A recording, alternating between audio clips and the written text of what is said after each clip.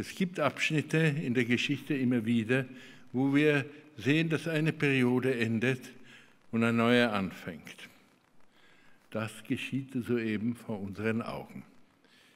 Ähm, weil es ist etwas passiert, was in seinen Folgen noch unabsehbar ist.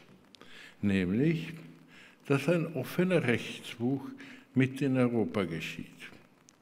Als Wladimir Wladimirovich Putin den Beschluss fasste, die Krim zu besetzen, wischte er mit einem Federstrich eigentlich alle Übereinkommen und alle Sicherheiten, die wir weitgehend sogar seit dem Jahr 45 gehabt, in Europa gehabt haben, beiseite. Aber wir müssen uns jetzt klar sein, dass hiermit eine beträchtliche und sehr erfolgreiche Friedensepoche in Europa endet. Weil in dem Moment, wo ein Rechtsbruch akzeptiert wird, folgt der nächste am Fuße. Davor, dafür kann ich Ihnen garantieren. Wir beobachten soeben, wie die Vorspeise eingenommen wird, die Krim.